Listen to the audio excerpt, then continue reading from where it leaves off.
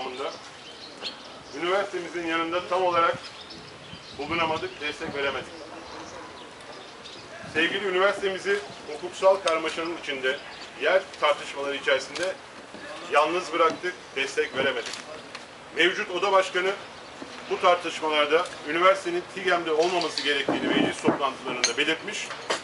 Bu tartışmalarda da üniversitenin karşısında bir taraf ve duruş sergilemiştir. Biz asla bunu böyle olduğunu düşünmüyoruz.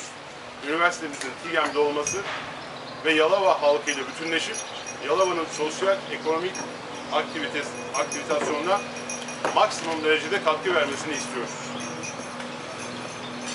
İkinci konumuz çiçekçilik ve organize, organik tarım. Yalova'yı bütün Türkiye'ye çiçek kenti ola- olarak tanıtan çiçekçilik sektörümüz son dönemde İhtisas Organize Sanayi Bölgesi'nin son 10 yılda İhtisas Organize Sanayi Bölgesi'nin kurulması, kurulmasıyla uğraştırılmıştır. Bu konuda yeteri kadar desteklenmemiştir. Son dönemde yapılan Garden AŞ oluşumuyla beraber TİGEM'deki çiçekçilik yatırımları sonuna kadar destekleyicisi ve takipçisi olacak.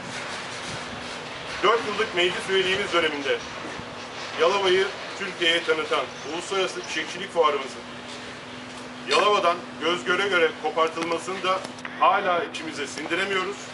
Bunu tarihi bir hata olarak görüyoruz. Turizm sektörüyle ilgili Yalova Belediyesi'nin ortaya koymuş olduğu projeleri, Termal ve Armutlu Belediye'mizdeki turizm bölgelerini, Esenköy, Çınarcık, Çiftlikköy, Altınova ve Yalova'daki bütün belediyelerimizin turizm yatırımlarındaki projelerini destekliyoruz.